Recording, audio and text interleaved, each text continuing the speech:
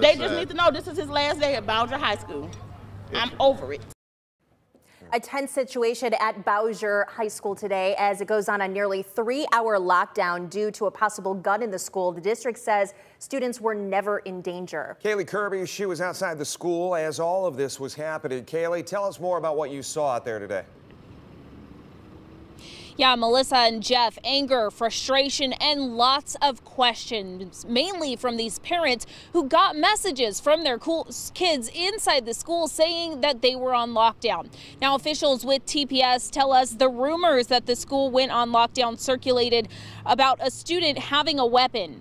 Officers with Toledo Police and the school district took action to check all the students, classrooms, and hallways. No weapons were found after this search. School officials say the search took longer than they expected, but they wanted it to be thorough and make sure everyone was safe.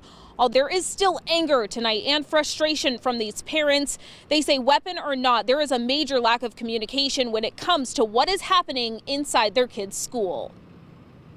TPS still ain't called my phone, but I bet you they called me about a COVID threat before they called me about the school shutdown. No, and this will not be like the last time where this went on and y'all called me telling me something. Please take down all the postings you have. This is not the image we want for our school. You care more about your image than you do my son. I will be withdrawing my son from your school.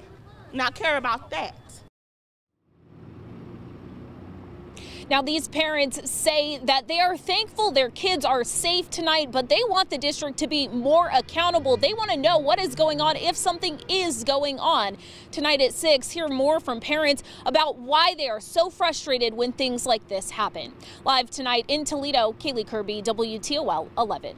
And it's true, today's incident at Bowsher is one of many recently. The school reported several fights last month. Some got so out of hand, an officer had to use pepper spray to control a crowd. There was also a report of a student having a gun in class in September. Police at that time checked every room and found nothing. Police did arrest a 16 year old for having a loaded ghost gun at the school back in August.